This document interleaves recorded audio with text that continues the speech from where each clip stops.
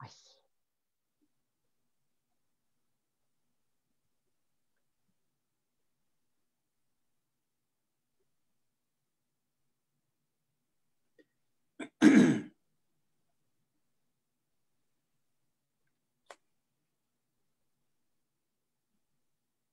My screen says it is now live. Mine does not. Mine does. All right. I guess we're live. Technology is our friend. Yes. thank you for uh, thank you all for joining us this evening on uh, Wednesday. I am so happy to have uh, Cherie Gabbert with us, who's living with metastatic breast cancer in Southern Oregon in Grants Pass, and my colleague and friend uh, Cindy Fletcher, our director of programs here at Komen. Tonight's topic is treatment access during the coronavirus pandemic, which is so important right now as individuals who are, are, are scared to leave their homes. They have uh, possibly lost their jobs. They are already facing hardships with the uh, cost of healthcare um, and possibly being underinsured or un uninsured who need to take care of their health while taking care of their families and making difficult choices. So I am so happy to, to begin with um, uh, having a introduction to Cindy to talk about uh, the treatment access program and first tell our, our viewers who are with us um, what this program is in generality. So in generality, thanks Andy, uh, this program is a way to help people get to treatment. So we provide uh, gift cards for gas, lodging, food for people typically who have to travel at least 25 miles one way to breast cancer treatment who are in financial need. So they're at 250% of the federal poverty level, which is about $3,600 a month for a couple, uh, a family of two. Uh, and so we uh, fund the program and we work with 211 Info that administers and mails out the gift cards. And uh, the patients apply through their cancer centers. Thank you. It, it, it, it is something that Cindy and I know is so important as we traveled around the state. I think we've traveled probably 10,000 miles in the last few years, visiting every county in Oregon and Southwest Washington, meeting with um, patient navigators, uh, healthcare workers who are working on the front lines, who understand how important this project program is. And through those relationships, we've been able to help uh, individuals like Cherie. So Cherie, um, I guess two questions combined together. Um, how did you first hear about this program and um, when did you first use this treatment access program? For me, I've had kind of a long uh, journey with breast cancer. I was originally diagnosed in 97, and in Southern Oregon, there were no resources. At that time, I went to OHSU for treatment, and I was not aware of any assistance available anywhere. Then, when I had my recurrence in uh, 2014, it was through a patient navigator that gave me a list of uh, resources to help me get through that journey. And uh, it was Komen's treatment access program that responded first and provided the first financial assistance, which began my relationship with Komen. Um, it made all the difference in the world for us having to drive 250 miles each way to get to treatment. First time around i'd get up at three in the morning and drive up for treatment and drive back at the end of the day. So it's nice this way we could go i could get treatment and it covered meals gas whatever my needs were to get to and from so that was 2014 to 2015 how often do you utilize the program now now it's once a year i just met my five year mark woot woot so it's an annual visit up to OHSU. So I use it once a year now. Originally, at first diagnosis, I was coming up every two and three weeks.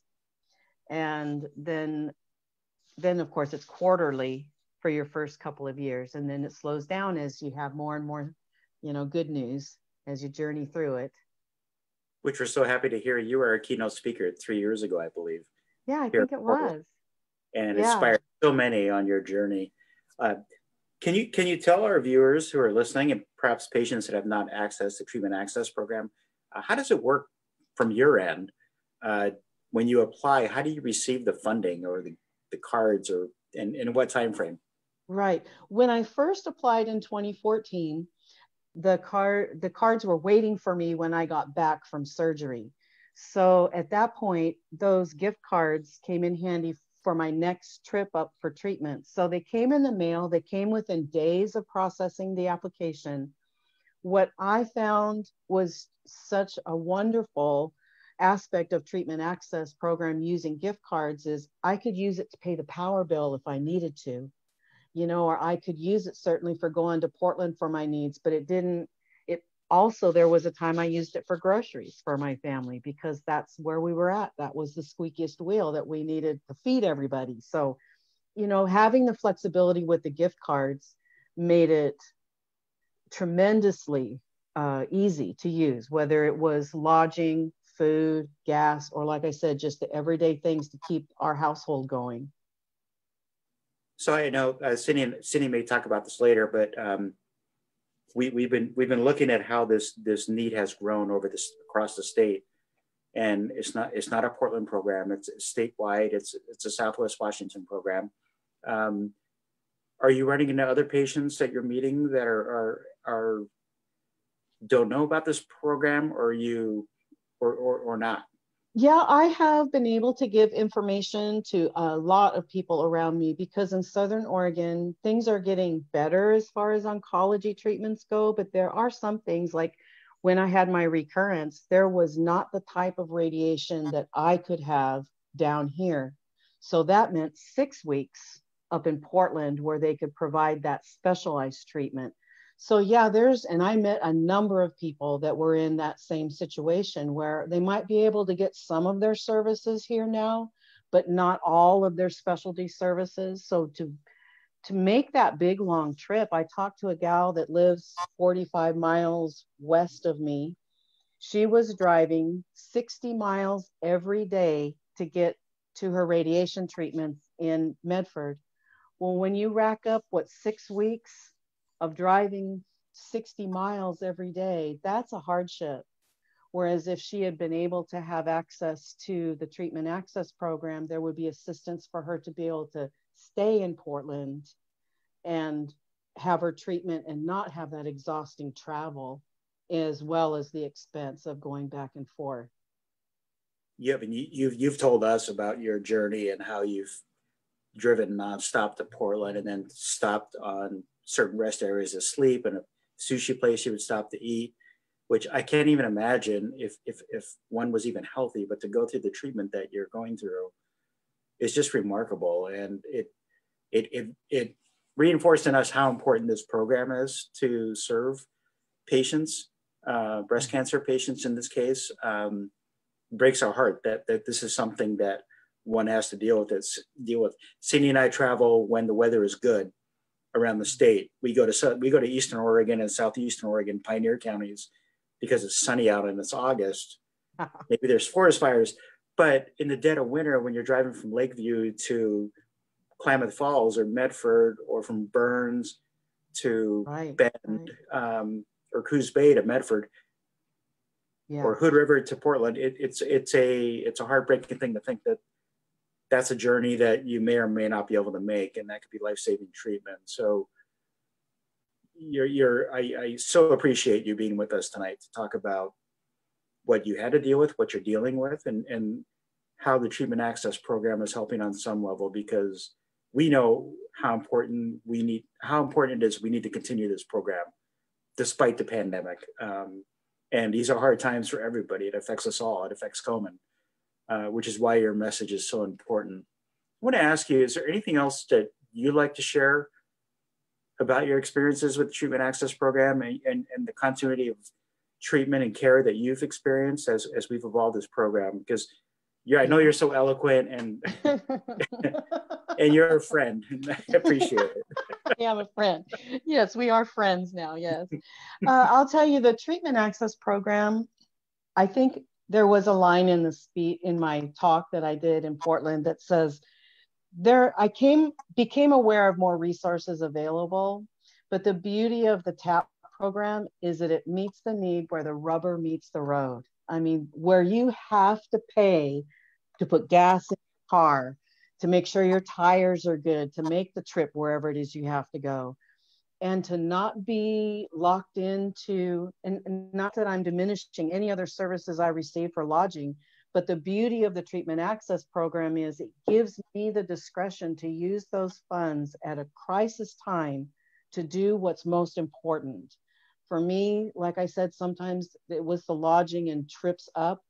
Uh, one time it was buying groceries for the family or paying part of a power bill. You know, life is real for all of us. And so cancer doesn't show sympathy when you're out of work when you lose your health insurance, even when things seemingly are perfect. It rocks a person's world. There are things you just can't even mm-hmm. imagine that become a hardship. And to have cash asset, access to cash through those gift cards just made that flexibility a beautiful thing for us. And it, it helped us to prioritize our finances. It literally kept us in our home during a really frightening financial crunch because I was out of work for a year. You know, it's, it's really a crisis upon a crisis with the pandemic happening. Oh, I can't even imagine. Oh yeah, and it, it, it um, you know, when when this when this unfolded in March, I guess when we all closed down, certainly here in Oregon, um, we started to look critically at what we can and can't do because we've been affected too. We, we can't do everything now. So we honed in on, on how do we help people in crisis in care. And so Cindy, um, I'm going to turn to now. And by the way, uh, if you just, if you tuned in late, I'm talking to Cherie Gabbert, who's a metastatic breast cancer um, fighter in Grants Pass, Oregon, um, who's part of our treatment access program and, and a wonderful dear friend of ours uh, and supporter um, as we support her. And Cindy Fletcher, our program director, who's just awesome. Yes. Um, I know many of our listeners are listening in, including Tony Mountain, with many many of you who know. Oh yes. We, we created the Tony Mountain Fund thanks to Tony um, and her tireless advocacy for patient for patient assistance across the state. Mm-hmm. We, we stand in her. We we we we we, we stand on her shoulders and Gail, um, who worked with her. So I uh, I want to turn to I want to turn to Cindy. Um, obviously, we we took a look at this program when the pandemic started. So, Cindy, what what has changed about the program since since the COVID nineteen outbreak? So yeah, I mean exactly what Cherie was saying. You know, right now people, well, just in general, people are having to make some tough choices between treatment and groceries, treatment and utilities. How do they get around? And as the pandemic hit and as we started hearing about you know restaurants closing uh, businesses closing we had to you know we were all working from home we started having this conversation uh, how can we be the most effective how can we help people uh, in the community and so uh, we sent out a survey to patient navigators around the patient navigators and social workers uh, around our service area of Oregon and Southwest Washington. To those living with metastatic breast cancer, we posted it on our Facebook page to, to uh, gather information from people in treatment for breast cancer. Really asking how do we help people who are in treatment for breast cancer right now? This is where we want to focus our focus our attention. And uh, we overwhelmingly heard from the community that uh, the 25 mile one one way to treatment or 50 mile round trip to treatment requirement was prohibitive. That there were people that were in our communities in communities closer to the um, various breast centers around the um, service area that needed assistance as well and so we uh, took away that requirement and so currently uh, the requirements to, or the eligibility guidelines, I should say, for the program are that you're in treatment for breast cancer, you live or receive treatment in Oregon and Southwest Washington, and you uh, your income is at or below 250% of the federal poverty level. And like I mentioned, that's about $3,600 a month for a couple. And so right now, uh, we also added a, a, little bit of an extra incentive for folks or a, a additional funding for folks who um, may need it. So if you uh, travel less than 25 miles one way to treatment, you can receive $100. Uh, and that can be, again, it's a Visa gift card, as Cherie was saying. It can be used on anything. So we're expecting that, yes, people need to pay for, for gas, uh, but they may also need it to go get groceries, to pay utility bill, to help with rent, mortgage, whatever it might be. Uh, and if you travel uh, at least 25, 25 miles or more one way to treatment, then you're eligible for this extra $100 in addition to what you normally would qualify for.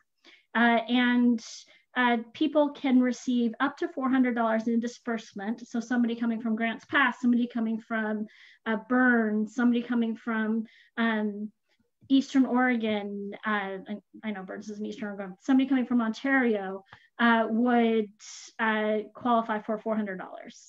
Uh, and then you can receive, a, a patient can receive up to $800 in a year. So really trying to give people just that extra something that helps to keep them in treatment and helps to keep them safe and their families safe. Thank you. Uh, but before I ask Cindy another question, uh, we definitely welcome questions. So if you if you insert those now on um, on the on the Facebook page, um, Alice Fern, who is behind the scenes coordinating this, uh, will definitely ask those questions of Cindy and or um, Cherie. So please do post those. We welcome those when I when I finish the conversation with Cindy. But Cindy, how has the program um, changed now since in terms of usage uh, since the uh, pandemic over the last month or so? So as you can imagine, usage has increased. Uh, people are in need. Uh, and so we've been watching it very closely. Uh, we want to make sure that we're helping folks. Patient, we've gotten great response both from patients and patient navigators and social workers about um, being able to help more people. Uh, I just checked. Uh, I just checked what the number of cards that 211 Info has sent out, and in the last six weeks, so we typically average about 62, 6,500 dollars a month um, in gift cards out, and so I would expect that at in six with six weeks um, six weeks six weeks in from April 1st, I would expect that we would probably be about uh, $9,000 or something. Uh, and we have spent uh, almost $15,000 on this program. And so we're seeing almost a, a huge increase um, in the number of people using it. Uh, we've had uh, almost 40 people have taken advantage of that. They live under 25 miles to um, from their treatment center, uh, and about uh, 20 have utilized uh, that extra hundred dollars. So we're looking at about 70% of the people who are utilizing the program are taking advantage of the expansion, uh, which is fantastic, um, and it's something that uh, we're glad to see. Thank you. It's it's remarkable to see that growth, but not surprising uh, given the circumstances we're under. So just to, to walk us through this, just so people that are listening, if, if they're not accessing the program or they know someone who might be in need, um, how does someone in breast cancer treatment re- receive treatment access program funding? How do they go about that? Uh, they ask their social worker or navigator and that person can direct them. And if their social worker or navigator has not heard of the program, they can go to our website, komenoregon.org. And under our programs, the treatment access program is listed and the application is on our on our website along with instructions. Uh, and then their navigator, the the navigator, they, they fill out the form all the information is self-reported. So again, we're not asking for pay stubs. We're not asking to, for uh, a piece of mail saying, you know, utility bill saying that you live in Oregon and Southwest Washington. Uh, we're just uh, trusting on faith that you're telling your now you and your navigator are telling us the right information. And uh, so then your navigator applies, uh, sends the application to 211 info. Uh, and 211 Info processes the application and mails out the Visa gift cards. Uh, right now, just like, ah, we are uh, the woman from 211 Info who is managing the program is also working remotely from home. And so she's going into the office a couple of times a week in order to process applications and send them out. So whereas uh, prior to the pandemic, cards were taking about three days to get to people, now they are taking seven to 10 days. Um, some will get them sooner, some will be a little bit longer. Um, but they apply through their um, cancer center but they will get it. It's it's definitely a low barrier program as we, we share that message around the state. We don't want to make it difficult to get money uh, sooner than later to help them or financial assistance.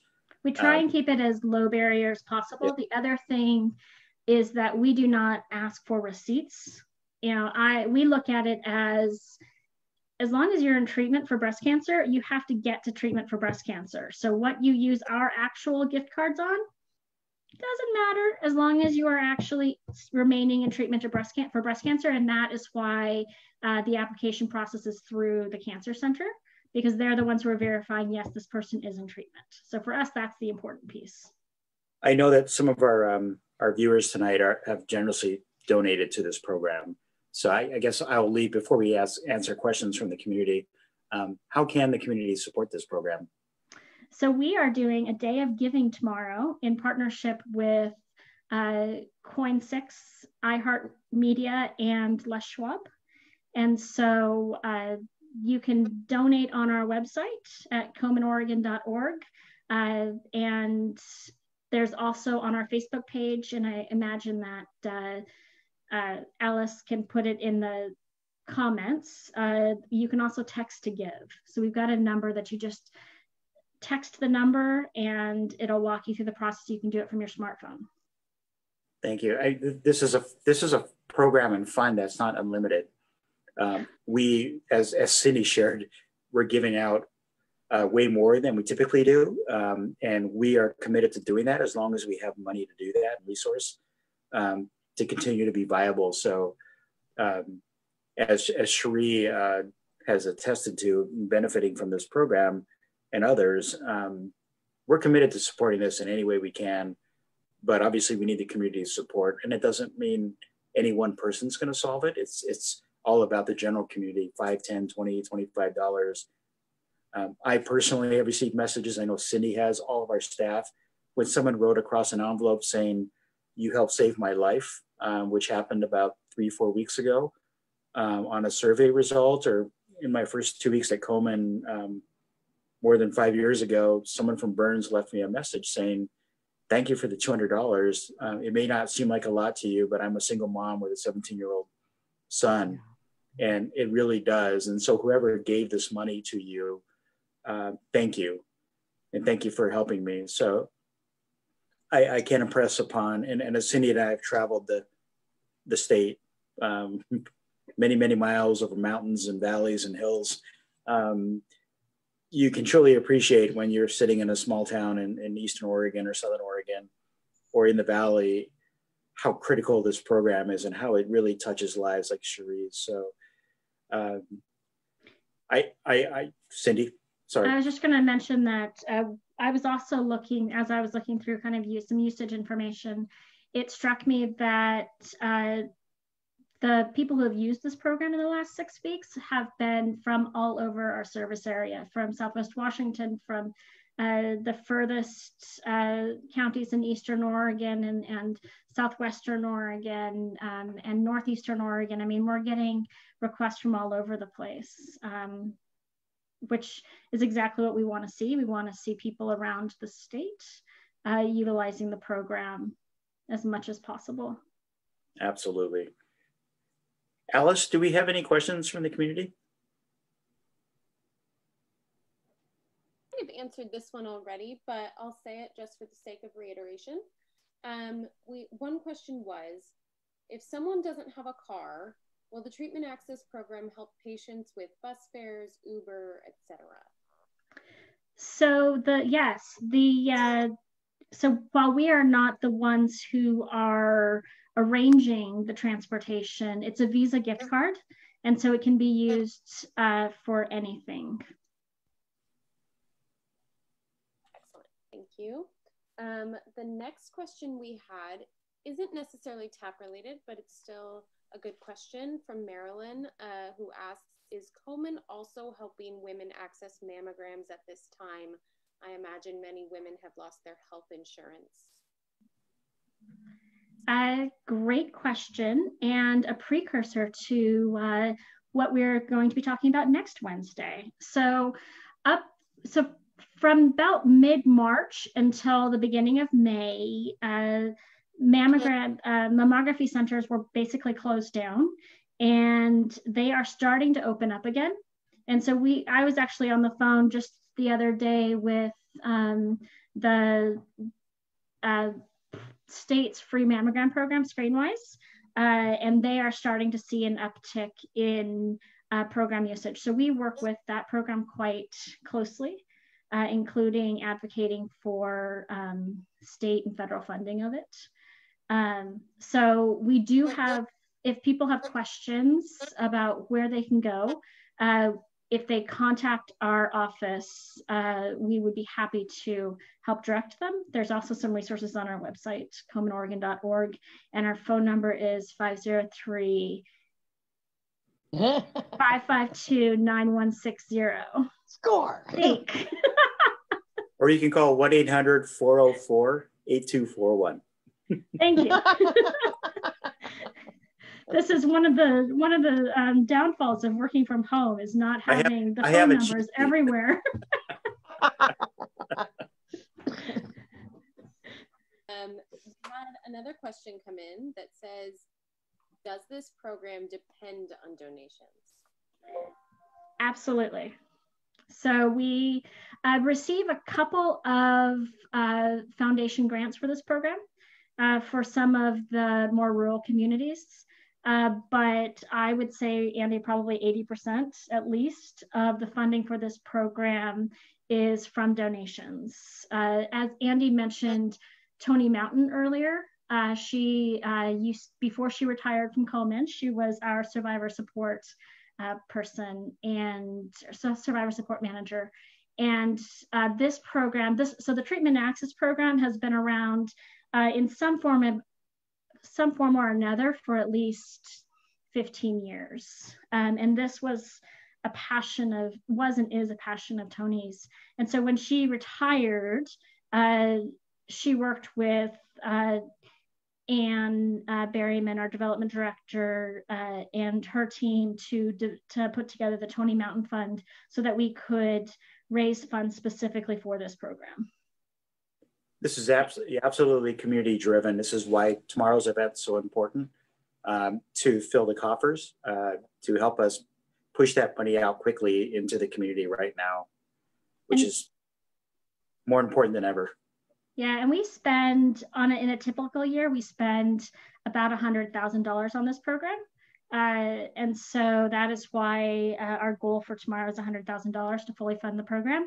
Um, I anticipate that we'll be spending more on it this year just because the need has been so great.